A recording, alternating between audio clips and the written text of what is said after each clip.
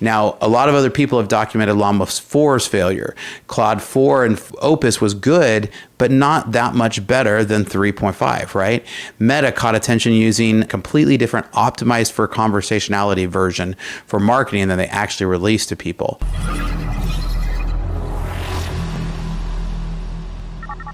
So we can definitely see that scaling is really starting to hit the limits. So I want to talk about this article right here because I'm going to I'm going to talk through some of the pieces of this article here. So inverse scaling in test compute. So this is something actually released by Anthropic, right? These are a bunch of Anthropic and Scale AI guys, right?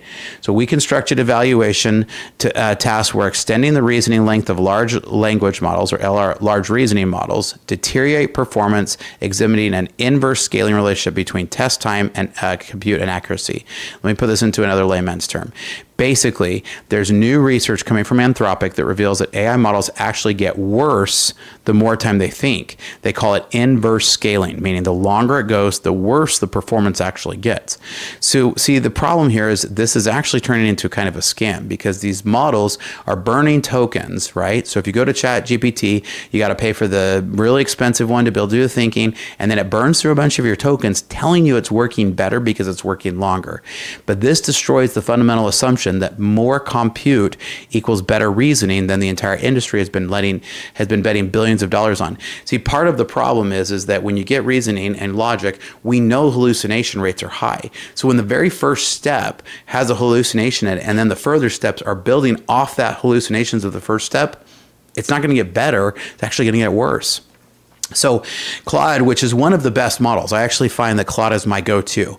Well, usually it's my one. I mean, I use all of them. I use Grok, I except for ChatGPT. I don't use ChatGPT except for their open source models. Hopefully, you checked out yesterday's video because I did a review on the GPT OSS model yesterday. You're gonna love it go go check that out. But um, uh, other than that, I don't use ChatGPT. I use Grok, uh, I use Claude, and I use um, Google Gemini. Those were really my three go-tos. Uh, but Claude models become increasingly distracted by irrelevant information as reasoning time increases, while GPT models overfit the problem framing. So when asking a simple question like how many how many fruit do you have with an apple and an orange, extended reasoning led to wrong answers. So the models shift from reasonable conclusions to spurious correlations when given more processing time to try to work through the problem. So if thinking longer makes AI dumber, and this isn't the only report, I'm actually going to show you another one here too, then how exactly are we supposed to reach super intelligence through scaling compute, right? So if we're just going to add more compute, that means longer thinking, which means this isn't going to work, right? I've been saying this for a while, guys, that we're not going to hit AGI. And that's the point of all this. AI labs have hit the wall of real human generated data, and we're now training on synthetic data sets that create benchmark gaming monsters. So these models can A, standardize benchmarks, but they can't tell you about popular culture or current events that human learn naturally.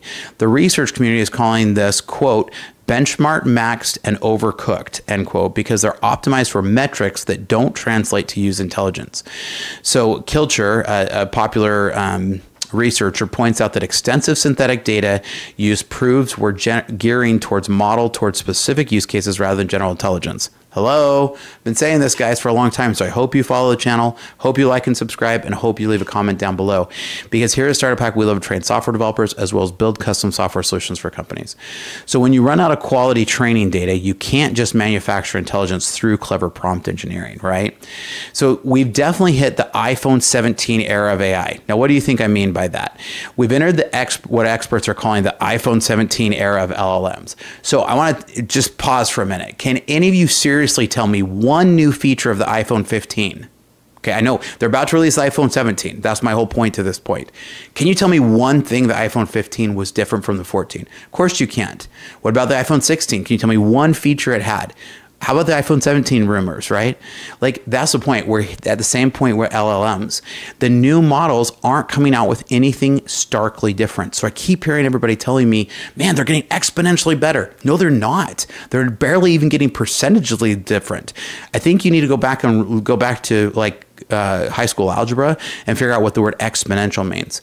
It, they're not even getting linearly better, let alone exponentially better. Hi, I'm Spencer, a fractional CTO. With over a decade of executive leadership and 25 years in software development, I've transformed technology teams and products for businesses just like yours. As your fractional CTO, you get the strategic guidance of a seasoned technology executive without the full-time commitment, perfect for companies ready to leverage cutting-edge technology without expanding headcount. My team at Startup Hakk has already built advanced AI agents for small and medium businesses, automating complex workflows and delivering advanced ROI to human workflows. We specialize in creating custom software that connects your systems into a single coherent technology ecosystem. Our development approach focuses on tangible business outcomes. For one client, we developed AI powered workflows that cut days off of human processes. For another company, by connecting multiple systems, we reduced processing time to increase their ROI by over 75%. We don't just write code, we architect solutions that scale. Whether you need cloud system architecture, data integration between legacy systems, or custom AI agents that automate your unique business processes, my team delivers results that exceed your expectations. Having led technology for a lot of companies and launched seven successful brands of my own, I bring battle tested expertise to your business challenges. Our specialty is turning technological complexity into business advantage. So if you're ready to harness the power of AI and custom software to drive your business forward, let's connect connect. Together, we'll build technology that doesn't just solve today's problems, it positions you for tomorrow's opportunities. Technology leadership, decades of experience, AI powered. Reach out today and we can help you. Check out startuphakk.com slash Spencer.